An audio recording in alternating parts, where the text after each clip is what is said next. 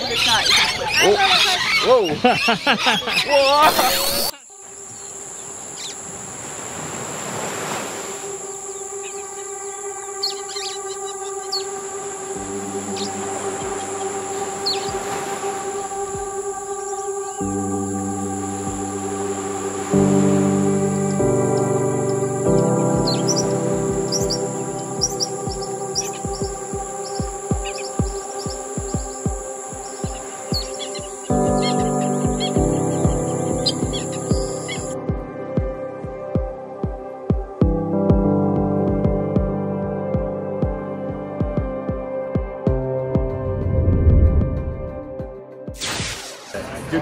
guys, from day three in Aussieland, and we're very excited because Johnny here has finally joined us. For the last couple nights, we've been missing him, and he's going to be sharing with us all around the Gold Coast area today. So super excited to check this place out. And we're starting out with nothing better than a famous Australian breakfast. So John, what's, what's the big thing about uh, Well, we're, Australian we're breakfast? at Cafe D'bar. It's like up on top of D'bar. Australian breakfast. Um, it's probably the most Australian like meal that we have because uh, since uh, Australia really started, the uh, we, we haven't really developed much of like a, a real culinary culture. But there's one thing we've really dialed in, and that's breakfast. Australians go out and they meet up for breakfast really, really, really regularly.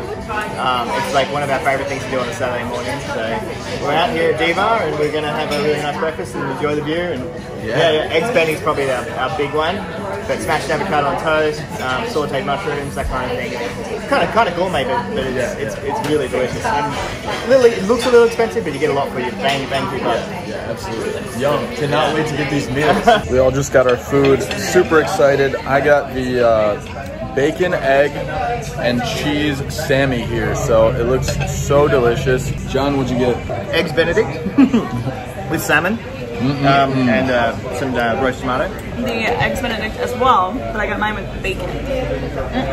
All right, guys, so we just finished a delicious Australian breakfast. Honestly, it lived up to its name and it was so good. That got us ready for the day.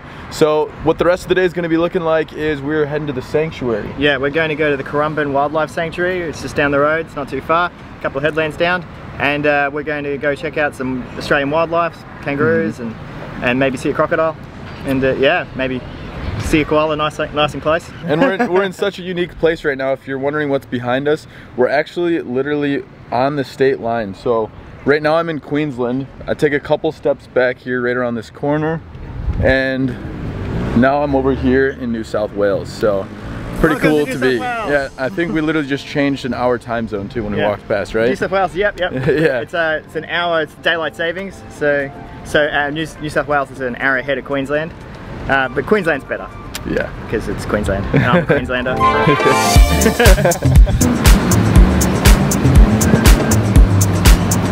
So guys, as you know, Australia is going through a really tough time right now with the bushfires. Before we show you the sanctuary and all of the incredible wildlife that Australia has, we wanted to tell you guys about a way that you can support Australia in fighting these fires. Yeah, so at the time of recording this video is actually a couple weeks earlier than when we're actually posting this in January and so we are now realizing, you know, as these fires continue to get larger and larger, how can we do our part? Obviously we're not Australian, but this is a huge cause that we support and we really want to save all the animals, the firefighters. There's quite a few people that have, you know, lost their lives and so it's really tragic and so Chelsea and I were talking like, hey, you know, we're posting all this stuff about Australia. How can we maybe get some of our friends that watch our videos, some of our followers and subscribers to go ahead and join in and help the cause? And in every little way, it really counts and it means a lot. And so we set up a donation fund via Facebook. So we- set the goal for our fundraiser around $5,000. But if we can raise more than that, amazing. If we can't raise that much, well, we're doing our best and working with you guys to see what we can do. The donation fund is to the rural New South Wales firefighters. And a lot of these firefighters, or I think most of the firefighters, are actually volunteering their lives, putting their lives at risk to put out these fires, save all these animals. And so uh, we would highly recommend you guys to go ahead and donate, even if it's just a couple bucks to this fund, and it'll really go a long ways to help put out these fires and cure this tragedy. But um, for now, guys, uh, I'll put a link in the description below, and then let's go ahead and show you this day checking out the beautiful sanctuary. So we just got to the Currumbin Wildlife Sanctuary, which is, from what we understand, it's kind of like a zoo. We'll obviously learn more about it once we get inside, but they have koalas, some kangaroos it sounds like. So we're gonna see kind of our first Australian, authentic Australian wildlife. So we're really excited to check it out and show you guys what it's all about. So guys, a little bit more about this place is it costs about 40 Australian dollars per person and that gives you basically general access to the whole sanctuary.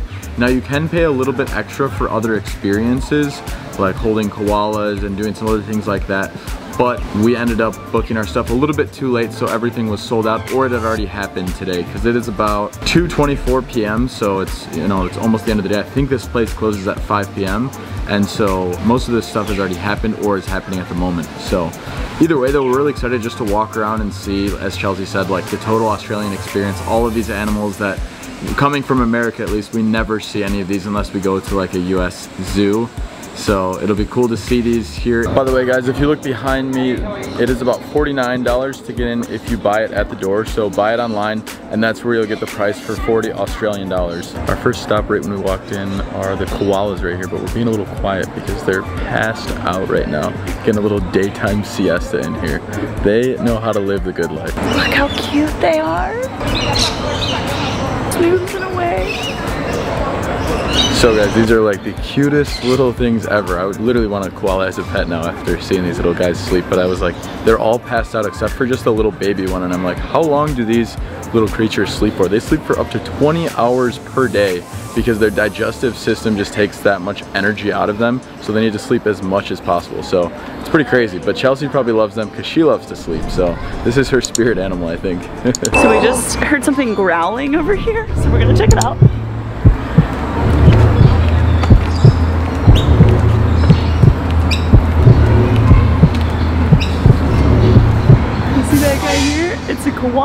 He's Morton, or you can call him Morty. And apparently he's nine and a grumpy old koala. So he must need his own pen. Troublemaker of the group, I guess. okay, so we can't seem to get away from all things koala. They're so cute. I could just sit here and or stand here and watch them all day. But they also have like a little koala pantry and facts about what they eat and how they digest their food, etc, etc. And fun fact, the word koala apparently actually means no drink because they absorb most of their water from the gum leaves they eat, so they don't really need to drink any water. So that's pretty cool. Time to see some birds.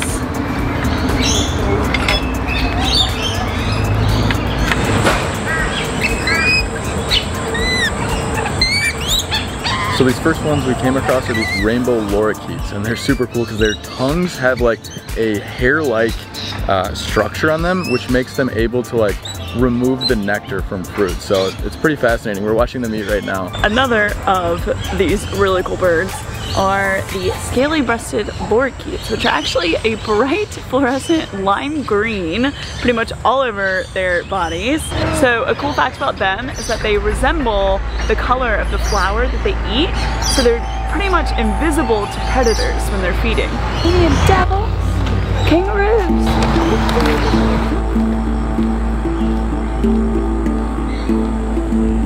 We've got Pelican Point right here. So it's a nice like pond that you can go ahead and watch the pelicans swim in nature. So if you hear this in the background, it's actually part of an Aboriginal show that they do. So they do like a, a story and dance show. So we're gonna go check it out for a couple minutes. And then we're gonna go check out the kangaroos. So stay tuned.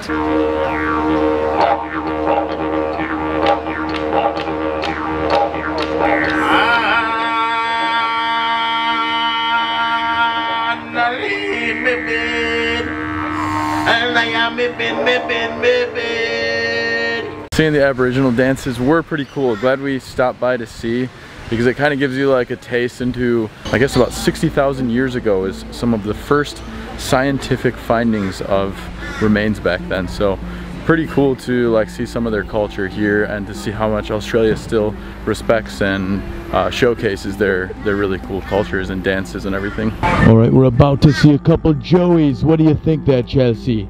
I am so excited for this. The koalas were already amazing and now we're about to see and maybe even touch and feed kangaroos. He's got a joey inside of his pouch.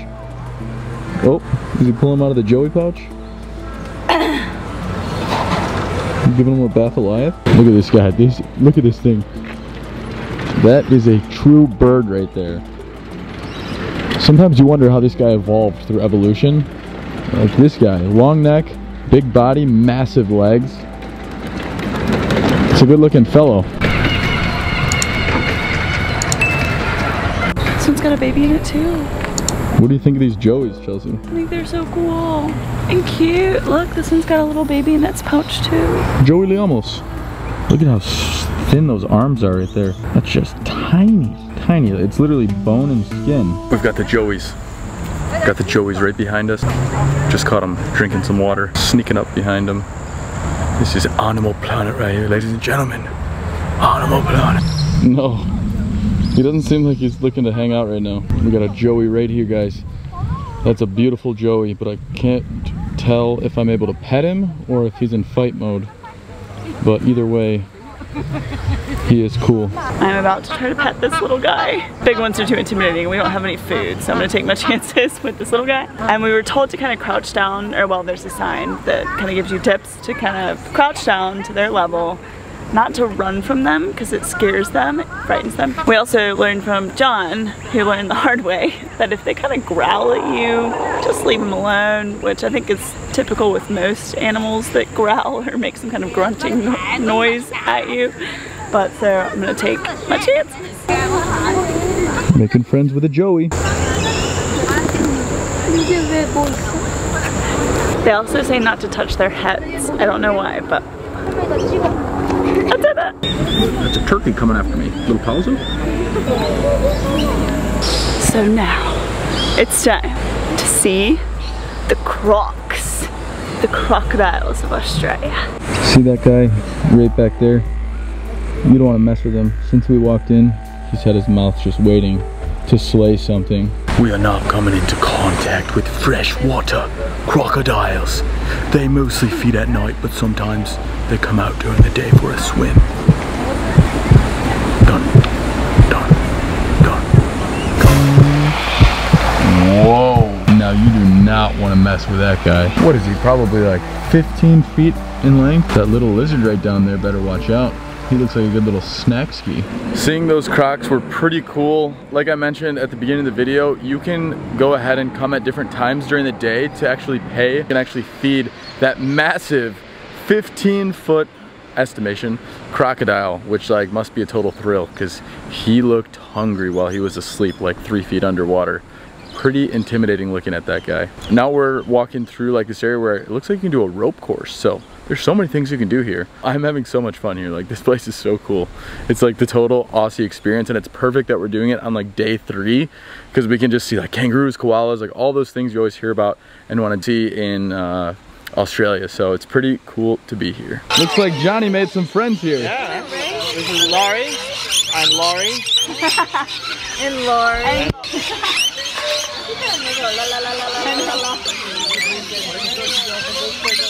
Alright guys, so that wraps up this video here at the Cumberland Wildlife Sanctuary.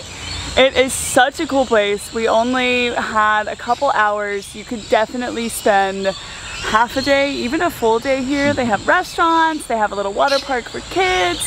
There's so much to see and do. It's super interactive. Definitely, if you are in the Gold Coast area, you have to, even if it's a little bit out of your way, come check this place out. It's so cool and I wish we had more time. Yeah, so amazing guys. Like this has been one of the highlights of the trip already because there's just like such a feeling of wow, I'm in Australia when you see all of these different types of animals that you can only find on this massive island slash continent. So, so much fun. Can't wait to see these things in real life too. But the sanctuary was a good way to kind of get comfortable around them. So really loved it. And uh, yeah, guys, if you like this video, hit that thumbs up. We'll have so many more videos coming out in Aussie land that we're so excited to share with you guys. And hit that subscribe button if you don't want to miss them. We'll see you guys in the next video.